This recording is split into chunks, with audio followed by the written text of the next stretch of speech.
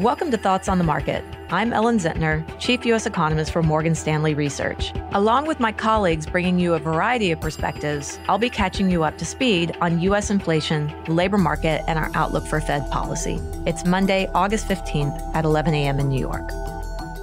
Let me start with some encouraging news. If we look at the July readings for both the consumer price index data and the producer price index, inflation finally appears to be cooling. And that should take some pressure off the Fed to deliver another 75 basis point hike in September. So that's the good news. However, inflation is still elevated, and that suggests the Fed still has a lot of work to do, even if there's a reduced need for a third consecutive 75. We're forecasting a 50 basis point hike at the September and November meetings and 25 basis points in December for a peak interest rate of 3.625%.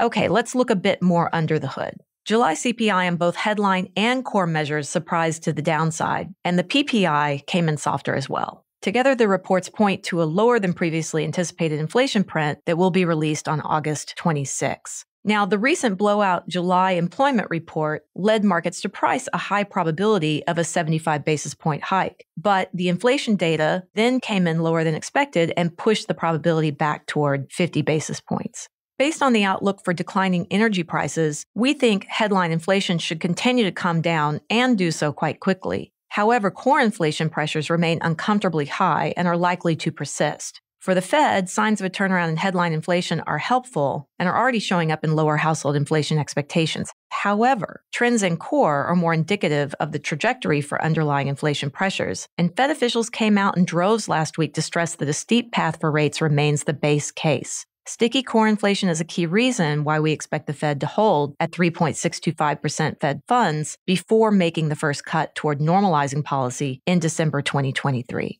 Now, let me speak to July's surprising employment report. As the data showed, the labor market remains strong, even though some of the data flow has begun to diverge in recent months. Leading up to the recent release, the market had taken the softening in employment in the household survey. So that is the employment measure that just goes out to households and polls them. Were you employed? Were you not? Were you part time? Were you full time? And generally, because that's been very weak, the market was taking it as a potential harbinger of a turn in the payrolls data. Payrolls data are collected from companies that just ask each company how many folks are on your payrolls. Household survey employment was again softer in July, coming in at 179,000 versus 528,000 for the payroll survey.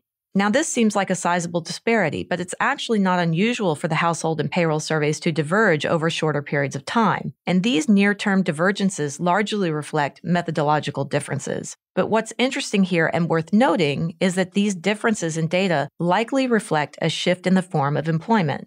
While the economy saw a large increase in self employment in the early stages of the pandemic, the data now suggests workers may be returning to traditional payroll jobs, potentially because of higher nominal wages and better opportunities. If the economy is increasingly pulling workers out of self employment and into traditional payroll jobs, similar pull effects are likely reaching workers currently out of the labor force.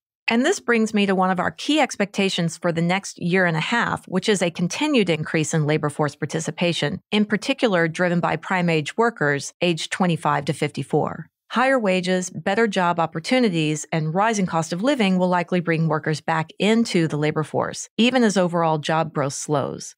Fed researchers, in fact, have recently documented that a delayed recovery in labor force participation is quite normal, and that's something we think is likely to play out again in this cycle.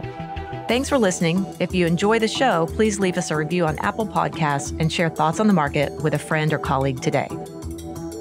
The preceding content is informational only and based on information available when created. It is not an offer or solicitation, nor is it tax or legal advice. It does not consider your financial circumstances and objectives and may not be suitable for you.